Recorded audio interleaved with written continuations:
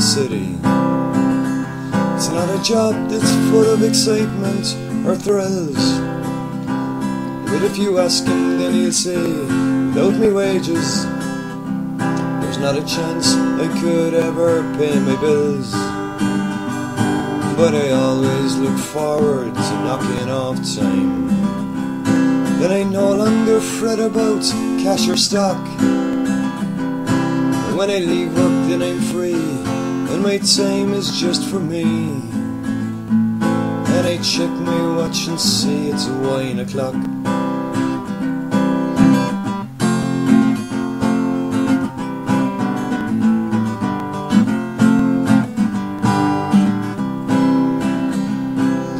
Maggie works at home minding her children.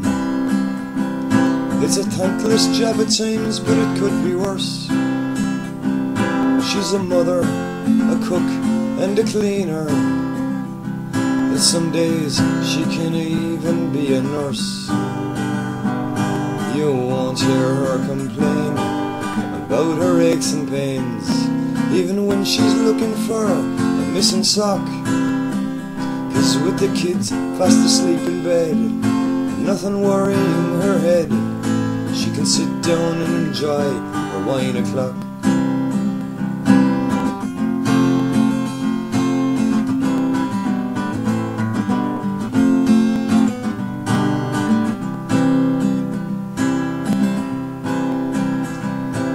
Know that not everyone's a boozer.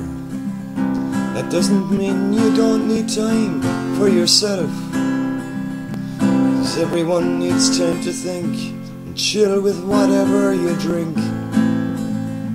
Whether it's tea or wine or whatever's on the shelf. So when your day is done and you're relaxing, trying to make sense of the day, just take stock. No matter what you drink, you're entitled to, I think.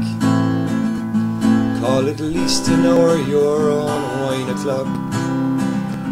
Call it at least an hour your own wine o'clock.